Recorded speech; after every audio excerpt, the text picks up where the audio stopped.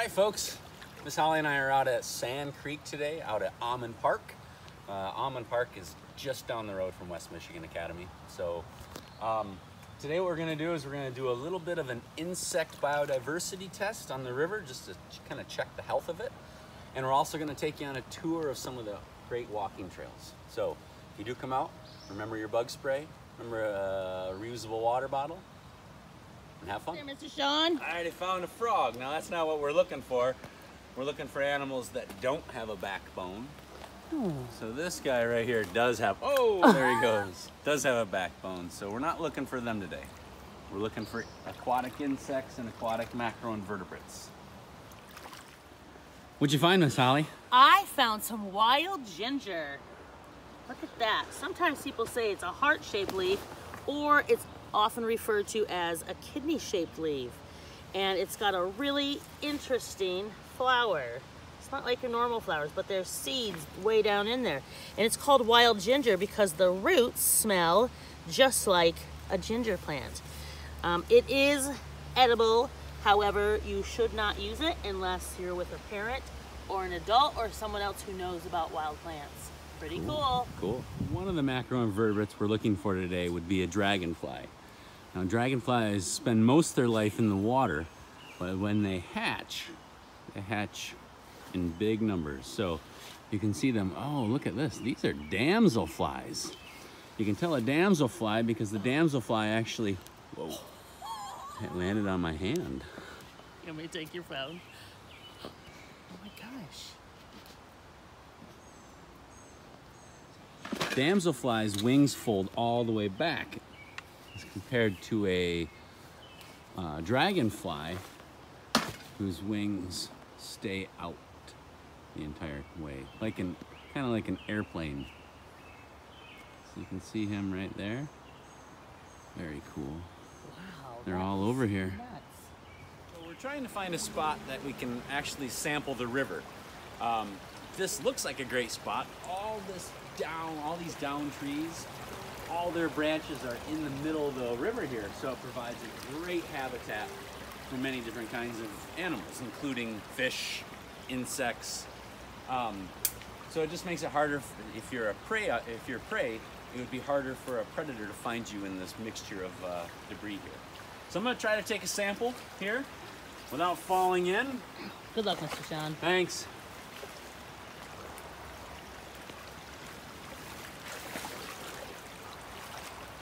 All right.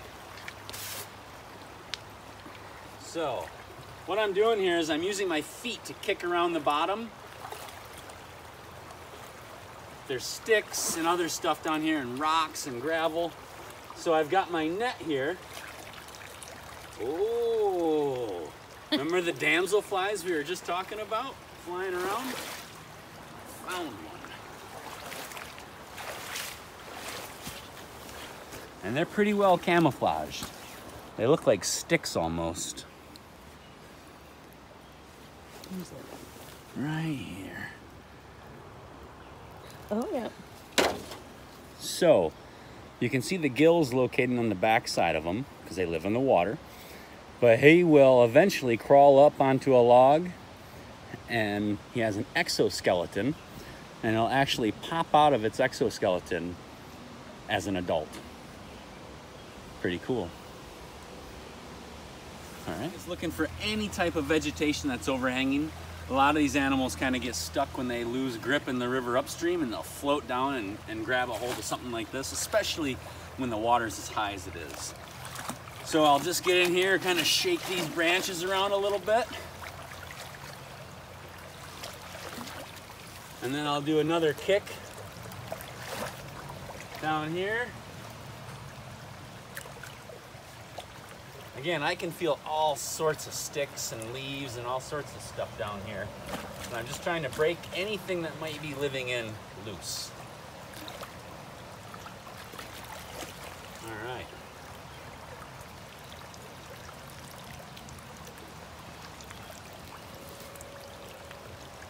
Let's see what we got here. Mm-hmm. Sometimes you have to wait a second because these organisms require oxygen And so as soon as they get out of the water, they kind of start to go into panic mode and that's when they move and that's when you can find them a little bit easier because they're very well camouflaged. What'd you find, Mr. Shawn? Found a tooth. Oh no, that's not a tooth. You know what that is? Claw. That's a crayfish claw. Still it looked like a tooth. Oh, and I also got, ah, let's see here. This is called a scud. It's very closely related to the shrimp. This guy has more than six legs, so it's not an insect. Another damselfly. You can see how these guys just blend in. See him right here? Why's he doing that with his tail? Flipping his tail around. because that's where his gills are located. So he has these hmm. three gills located on the backside there. And they're actually really big gills because they live in slower moving water traditionally. And so a larger gill allows them to absorb more oxygen because slower moving water has less oxygen in it. Out there with that screen, Mr. Shawn. So not everybody has access to those nets like we have at school. So I had this old screen from a window at my house and my dog went through, so it no longer works. So this is a great, we call it a kick screen. So what you would do, normally you'd have another person working with you, but what I'm doing right now is I'm just setting it up against a log here. And what I will do is I will go up above all this. Ooh, look how deep it's getting. It is deep. so what I'm doing is I'm kicking the ground here in front of me, and ideally everything that's underneath should get caught behind this screen. Oh, I see a spider crawling up it right now. Looks like that spider got washed down the down the river. So again, I'm just kind of dancing around down here on the bottom, moving all the sticks and branches. So what I'm gonna do is I'm gonna get over on this side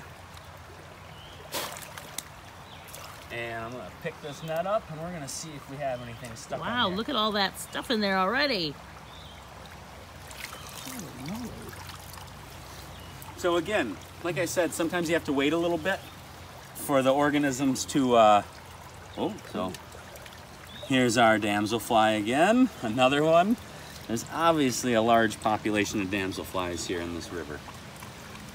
What river is this? This is Sand Creek again, right down the road from our school. And this Sand Creek flows right into the Grand River.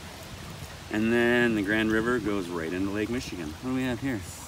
Oh, that's a seed, I Oh, think. is that? It's not a snail? So let's just see here. Here's another one. Is that another Oh, damselfly? no, that's not. You know, this is this is called the Hellgrammite. And they look like they've got lots of legs, but they really only have six legs. Some of the stuff in the back, that's just for them to kind of get a uh, get an idea of where they are. It kind of helps them navigate the water. But he does have some pretty big mandibles there that can actually bite. Ooh, he just tried to get he you. just tried getting me.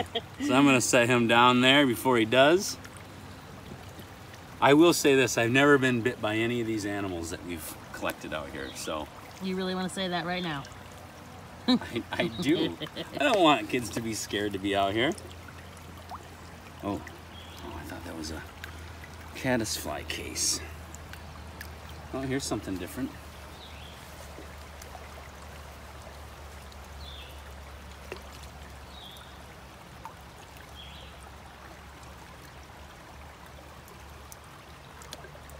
Looks like some type of.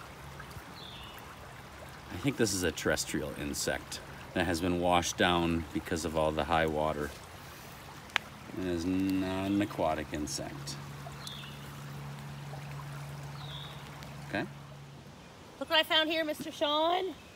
This is uh, Equisetum, which some people refer to as Legos of the forest or puzzle plants. You can pull them apart and put them back together. These plants were around, sometimes, were around, the type of this plant was around 100 million years ago and uh, used to be as tall as our trees that we have today. So we have a couple different sizes here. Oh, these are the ones that go back together really well. Yeah. Put it right back in its place. Sometimes people call them horsetail because they, when they grow um, to their final stage, they grow all of their seeds coming off all around, and so it looks like horsetails. It's a pretty cool plant. If you can find one, check it out. Look what you're standing next to, Miss Holly, right in front of you. Poison ivy. Poison yeah. ivy. You know, Lisa three, let them be, but sometimes you can't avoid it. Yeah.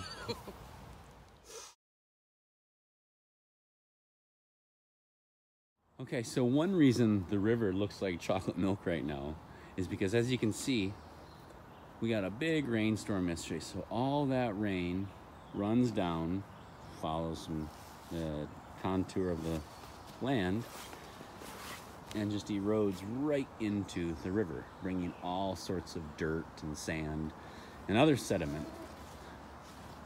I was thinking that maybe an animal maybe comes here and sits and eats some acorns from this oak tree. But this is a big old oak tree right on the banks of Sand Creek. Um, it's pretty cool how it's split into three. So something may have happened to this tree when it was growing up. Maybe it was uh, eaten by a deer or stepped on by a hiker which made it grow kind of funny like this. Big old oak tree. Cool spot. Yeah. Look what I found, Mr. Shawn, a basswood tree. Uh, the basswood is, has a, a history with Native Americans. The wood of the tree is soft, and so it was used for carving. It also, the inner bark was also used to make cordage or rope. And the basswood leaves, you notice, are so big and that's because they grow in the understory and aren't able to absorb so much sunlight so they're big so they can get as much sunlight, sunlight as they need. You can also see here this leaf has been eaten on so you know um, that some creature likes to munch on the basswood leaf.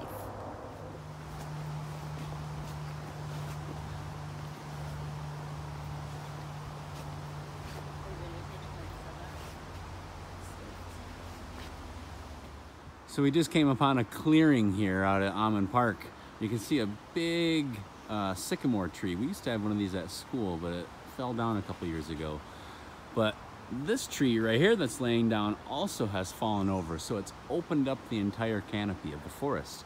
So as you can see, we've got all sorts of different vegetation growing in here now because so much sunlight can access the forest floor. All right, so if you look around here, you can see a couple really big dead trees right here, and they're all over the forest floor here as well.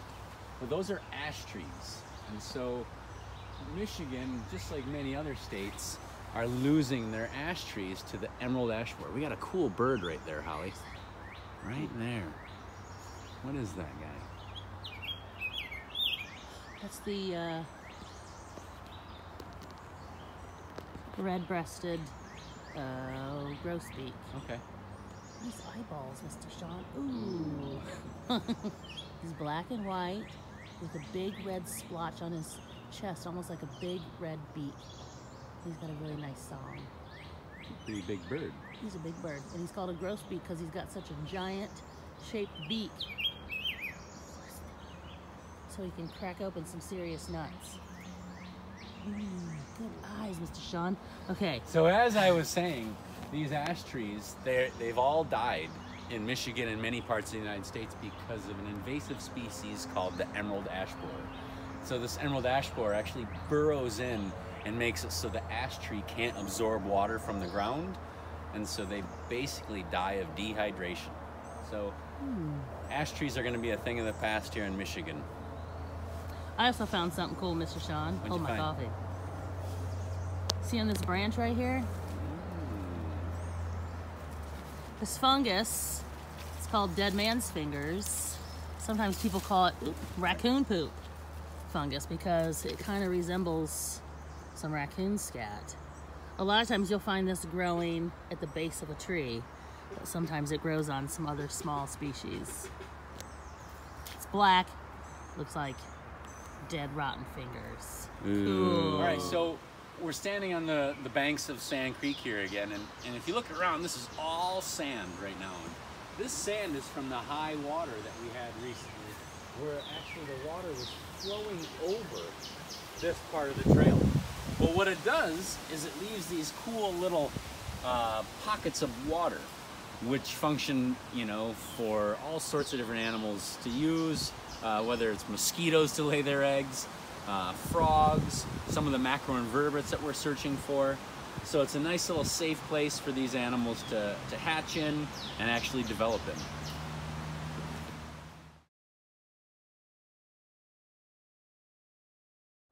Okay, I found a dead ash tree here and you can actually see how the beetle larva weaved its way underneath the bark. And then you should see some holes here and usually they're like a D-shaped hole here. That's where they burrow in. It's a great place to hike out here at Aman Park. Just make sure you do stay on the trails uh, because earlier I showed you there is poison ivy and there's also this noxious plant called cow parsnip. Uh, it can cause a pretty serious rash on your skin. So just stay on the trails or know what you're looking for if you do go off the trail. Make sure you go with a parent, okay?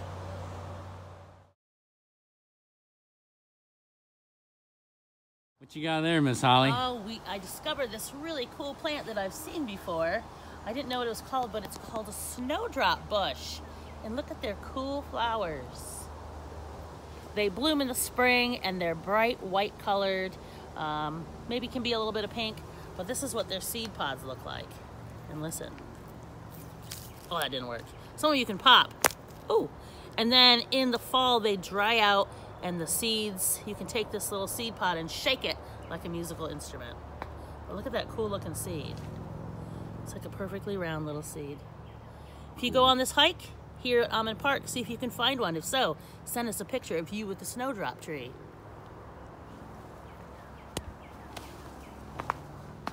They're like pop rock, pop things.